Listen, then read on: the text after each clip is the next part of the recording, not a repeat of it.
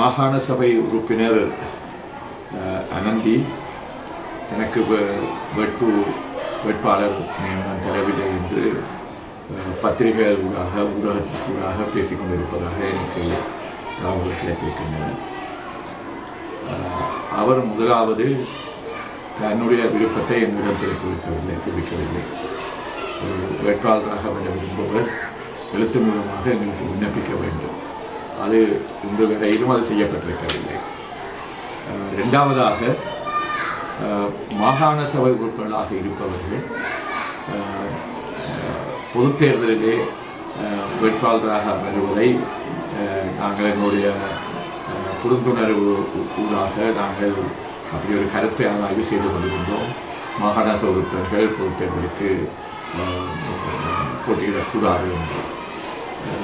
அந்த விடயத்திலே திரு சித்தார்த்தன் அவர்கள் ஒரு கட்சியுடைய தலைவராக இருக்கின்ற காரணத்தினால் அவருக்கு ஒரு விதிவிலக்கு அளித்து அவருக்கு வேட்பாளர் வேட்பாளராக இருப்பதற்கு அனுமதி வழங்கலாம் என்ற கருத்து ஆராயப்பட்டது அடுத்ததாக நாங்கள் அந்த ஆய்வுகளை சொந்த சென்ற பெற்ற எங்களுடைய கட்சித் தலைவர் கூட்டத்திலே தான் இந்த ஆய்வுக்கு வந்து இறுதியாக அப்படி போட்டியிடுபவர்களை பற்றி நாங்கள் ஆராய் ஆராய்வோம் என்று நாங்கள் ஒரு தீர்மானத்துக்கு வந்திருக்கின்றோம் ஆனால் அப்படி ஒவ்வொரு கட்சியின் சார்பாகவும் வர கிடைத்த வேட்புமனுக்களை நாங்கள் பரிசீலித்து ஒரு தீர்மானத்துக்கு வந்திருக்கின்றோம் ஆனால் அனந்தியை பொறுத்தவரையில் அவருடைய அவர் தேர்தலிலே நிற்கப் போவதான எந்த ஒரு வேண்டுகோளும் எழுத்து மூலமாக தான் எங்கள் எழுத்து மூலமாக வந்திருக்கவும் இல்லை.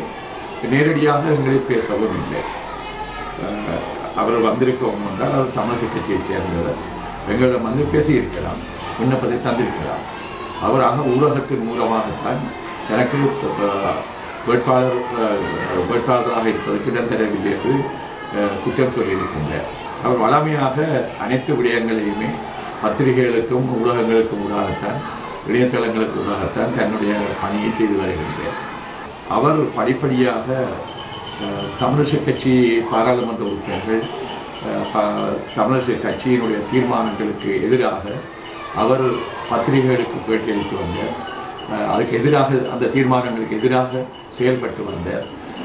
அதைவிட மிக அண்மையிலே பாராளுமன்ற உறுப்பினராக இருக்கின்ற சுமந்திரன் அவர்களுடைய கொடும்பாவியை காணாமல் போனவர்கள் என்ற பெயரில் நடத்த நடத்தப்பட்ட ஒரு ஆர்ப்பாட்டத்தின் போது அந்த குடும்பாவியை அவருடைய வாகனத்திலேயே அந்த குடும்பாவி பொம்மை கொண்டு வரப்பட்டு எடுக்கப்பட்டிருக்கிற சாட்சியங்கள் எங்களுக்கு கிடைத்தன.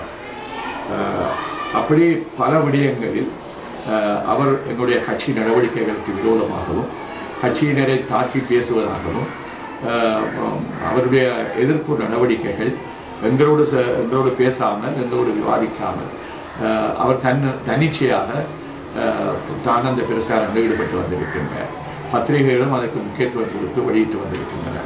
அதன் காரணமாக அவர் மீது ஒழுங்கு நடவடிக்கை எடுக்க வேண்டும் என்று தமிழ் தேசிய க- கட்சியினுடைய செயற்குழுவிலே நாங்கள் தீர்மானித்திருக்கின்றோம்.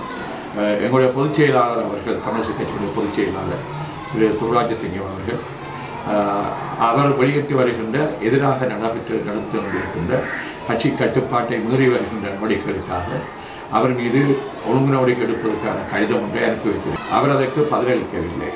அதைவிட அவரை நாங்கள் நீக்கியிருக்க முடியும். ஆனால் அவர் ஒரு மாகாண சபை உறுப்பினராக தெரிவு செய்யப்பட்டவர். அவர் ஒரு அதைவிட ஒரு பெண்மணியாக இருக்கின்றார் என்ற காரணங்களை நாங்கள் மனதிலே வைத்துக்கொண்டு உடனடியாக அவருக்கு எதிராக நடவடிக்கை எடுப்பதை நாங்கள் தாமதித்து வந்திருக்கின்றோம்.